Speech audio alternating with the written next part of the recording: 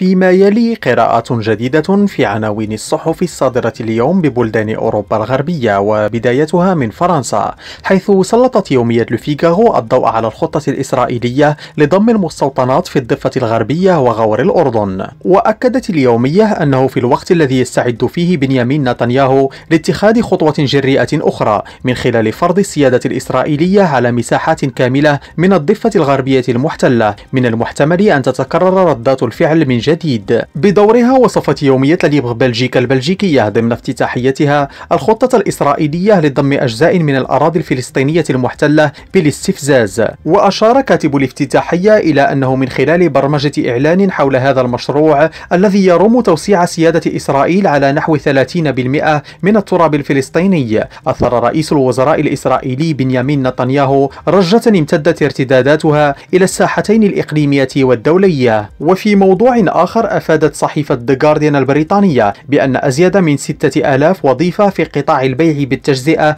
ألغيت في المملكة المتحدة حيث بدأ تأثير الوباء على التجارة في التفاقم مع اقتراب انتهاء مخطط المساعدة الحكومية للشركات. صحيفة فرانكفورتر ألجماينه تسايتونغ الألمانية اهتمت من جانبها بخطة الحكومة الألمانية لتشديد العقوبات ضد العنف الجنسي والمواد الإباحية الخاصة بالأطفال مشيرة إلى أنه يبدو بأن الضغط أصبح كبيرا للغاية نظرا لمدى انتشار العنف ضد الأطفال وتفشي هذه الجرائم على الشبكة العنكبوتية. وفي إسبانيا اهتمت يومية البايس على الخصوص باستعادة حرية الحركية والتنقل بين إسبانيا والبرتغال بعد فتح الحدود التي كانت مغلقة بين البلدين الجارين. وكتبت صحيفة البايس أنه بعد ثلاثة أشهر ونصف من الإغلاق غير المسبوق للحدود بين إسبانيا والبرتغال قام العاهل الإسباني الملك فيليب السادس ورئيس الجمهورية البرتغالية مارسيلو ريبيلو دي سوزا بإضفاء الطابع الرسمي على إعادة فتح الحدود بين البلدين